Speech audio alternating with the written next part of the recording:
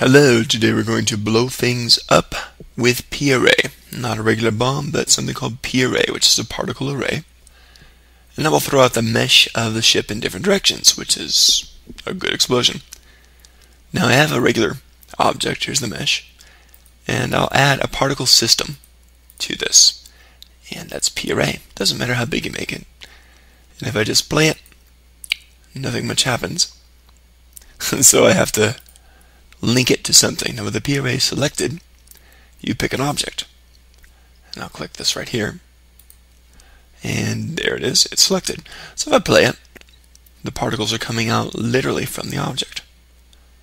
Now I'll adjust this a little bit so that it comes out in the viewport and I can see the mesh. And I have to have the particle generation the way I want it. And let's start the explosion about frame 10. The emitter stop, just bring that way up.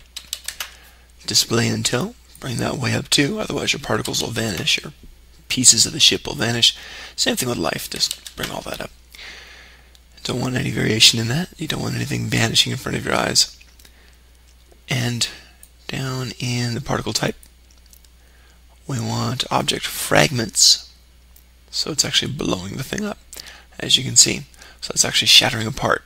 Now there's another thing we could do to make chunks of it. This is totally blown apart into small triangles. But down here you can control that number of chunks. So let's set it to number of chunks, and it actually pieces together chunks of your object. So we can bring this down, let's set it 100, we can bring this down or up, and here's a dramatic change to 25, and it blows up in pieces. Let's make that about 45 and see what it looks like.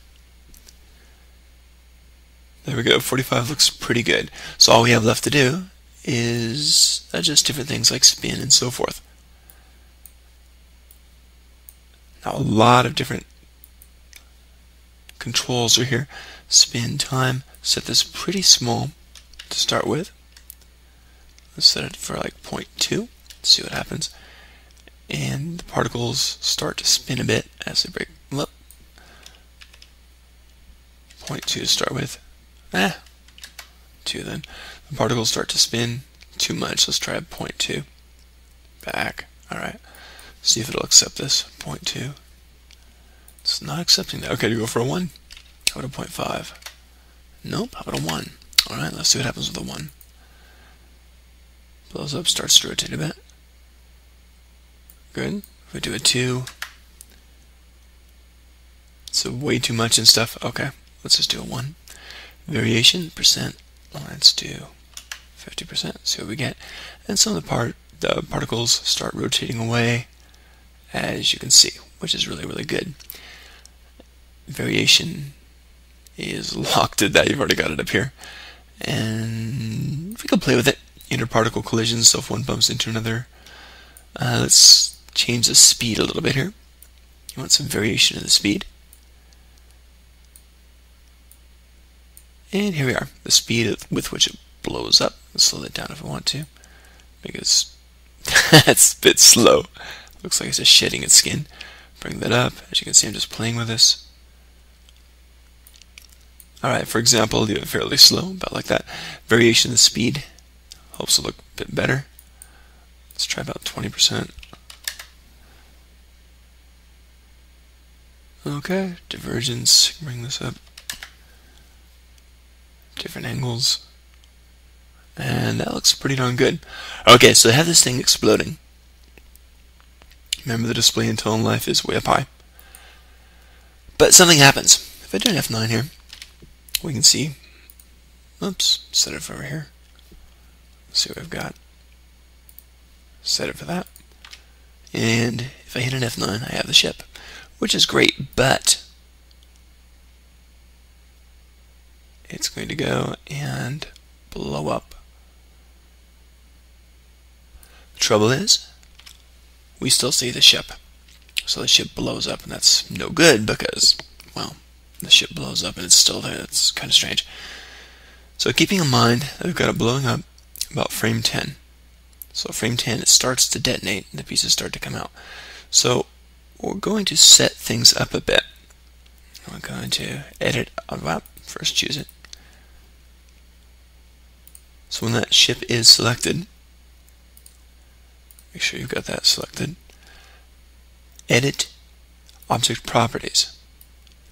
I want to set it up, I believe it's in General Renderable Visibility. Okay, visibility is 1, which is fine, and I want to set this up to start making keyframes for auto up for auto key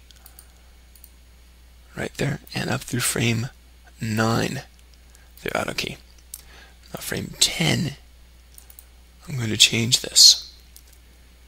So edit object properties in frame 10 bring the visibility down to 0 and hit OK and set the key. Take off auto key and it should work. Let's see what we get now. Boom. Oh, see how it fades? You don't want it fading out. So what we can do is set this over here for an auto key and set that. The edit object properties, set it to 1 right there because it was slowly going down from frame 0. So we have it set for 1 here and key it. Alright, take that key off. That should work and boom, suddenly blows up and vanishes. So that's what we're after. Good. Now we have the ship actually detonating, and the main ship is gone, so the particles replace it. Particles take the place of the mesh if we render it. Let's go ahead and render this. And there it is, our main ship is gone. So that's exactly what we're after. Now we need to worry about the color of things. We have a green ship blowing up into blue parts, so that doesn't make any sense. So let's apply some materials here. Go over to the basic materials and just start with something. Pick a color. Alright, we'll do this kind of, now we'll do a green ship. Okay, so I have a bright green ship, just for ease of viewing. And we want to have our array be the same color. The particles in the array be the same color. So we'll go down here. Not just the display, but we actually want the rendering. So keep going. Material mapping. And get materials from the picked emitter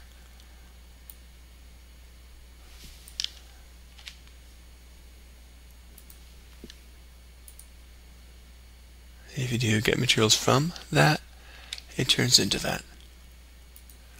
So you get materials from the picked emitter, you do have to click that afterwards, and you've got it. So let's see what we have slowly scrubbing through. Ship totally blows up.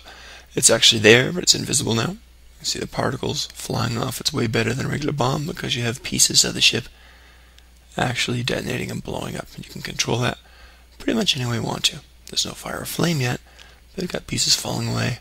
Oh, and if you want to change it, uh, there's somewhere in here seed. I think it's back toward the top.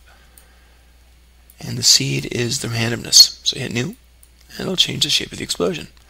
Let's see if we have anything flying toward the camera this time. Nope. Hit new. Nope. Nope. Nope. Yeah, that's better. Have something flying toward the camera. Nice and dramatic. There we go. Okay, so that looks pretty good and I'm going to keep that. When it's done, a little piece flying forever. So when it's done, you've got a really nice movie. Have fun blowing things up.